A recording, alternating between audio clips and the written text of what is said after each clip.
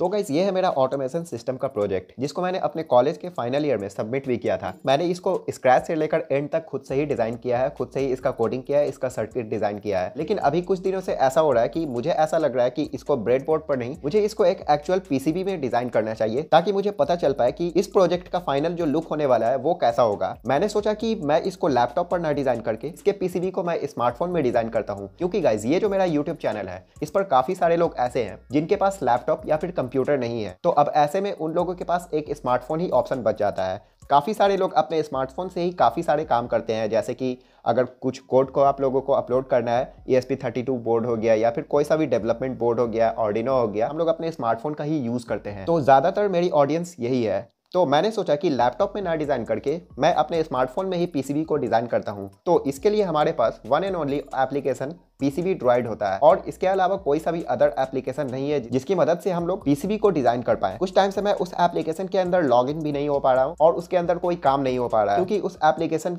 में ऐसा फीचर्स ही है कि जब तक हम लोग लॉग नहीं करेंगे, तब तक हम लोगों का आगे कोई काम होगा नहीं। तो ऐसे में मैंने बहुत सारे वेबसाइट पर जाकर इसके बारे में पढ़ा और जो गूगल प्ले स्टोर है, उस पर भी बहुत सारे लोगों का रिव्यूज़ आया हुआ है कि सर्वर लॉग फेल लिख रहा है। अभी मैं आप लोगों को यहाँ पर दिखाता हूँ। अभी मैं इसको इंस्टॉल करूँगा और इंस्टॉल करने के बाद आप लोगों को इसका रिज़ल्ट दिखाऊँगा कि इसमें एरर क्या आ रहा है। इस एप्लीकेशन को मैंने ओपन किया। ओपन करने के बाद यहाँ पर दो ऑप्शन आ रहा है पीसीबी ड्रॉइड अकाउंट तो इस पर तो लॉगिन हो ही नहीं रहा और इसके अंदर हम लोग देखते हैं, इसके अंदर हमें क्या रिज़ल्ट देखने को मिलता है। जैसे ही मैं यहाँ पर लॉगिन करने की कोशिश करता हूँ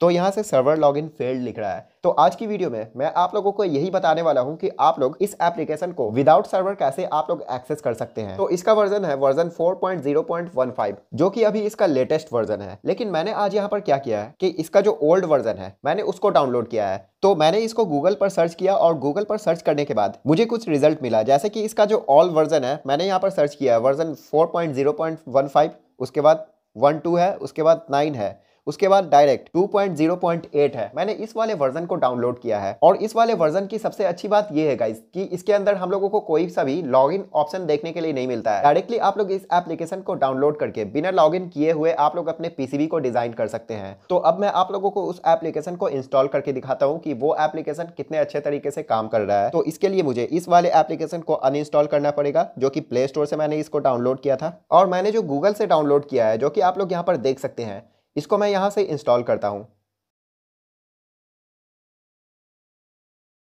तो गाइज़ अब ये जो एप्लीकेशन है, मेरे फ़ोन में इंस्टॉल हो चुका है। मैं इसको ओपन करके इसके फंक्शनैलिटी को आप लोगों को दिखाता हूँ। तो सबसे पहले यहाँ पर एप्लीकेशन ओपन होगा और आप लोगों को यहाँ से डोंट शो अगेन कर देना है। अब यहाँ से आप लोग बिना लॉगिन किए हुए new project setting open about जैसे कि न्यू प्रोजेक्ट हो गया, हम लोग इसके अंदर जाएँगे और इसको अलाउ कर देंगे। और यहाँ से अलाउ करने के बाद अपने प्रोजेक्ट का नाम देंगे हम लोग। उसके बाद इसका लोकेशन को अगर चाहें तो हम लोग सिलेक्ट कर सकते हैं। उसके बाद कुछ और सेटिंग्स है, जैसे कि हाइट हो गया विथ हो गया, अपने प्रोजेक्ट का। उसके बाद उसके अंदर आप लोग यहाँ से जो भी उसमें सेटिंग हम लोगों को देखने को मिलता था, वो सारे सेटिंग्स हम लोगों को यहाँ पर देखने को मिल जाएँगे।